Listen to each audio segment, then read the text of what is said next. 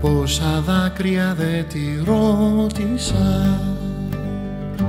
Και έμεινε πάλι σιωπηλή.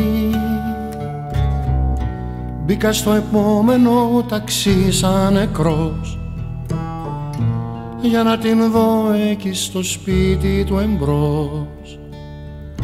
Για να την δω εκεί στο σπίτι του εμπρός να κατεβαίνει βιαστική διψούσα της ψυχής της το άνοιγμα μα είδα της φρίκης στο στριπτής. Του κοριτσιού μου το ομοίωμα να αφήνει εκείνο το σημείωμα. να αφήνει εκείνο το σημείωμα στου αμαξιού του το παρμπρίζ. Με το κραγιόν σε ένα χαρτάκι τώρα τι ρέχει από κρυά όπως απόψε πλάι στο τζάκι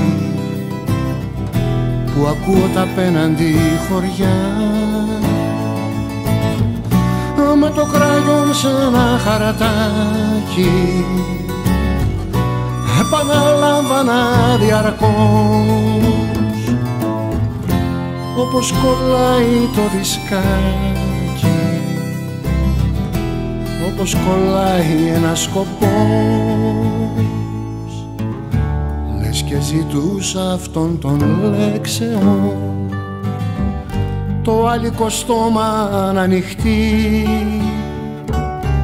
Στα σκοτεινά του να κατέβαινα στο αιώνιο δράμα να επενέβαινα.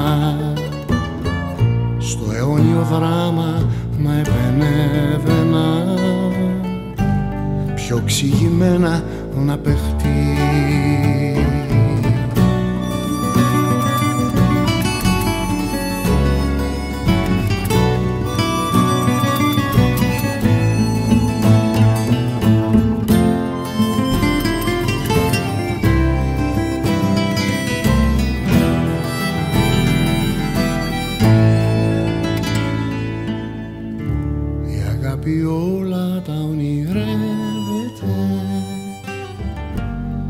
τα σήμαντα γελάει.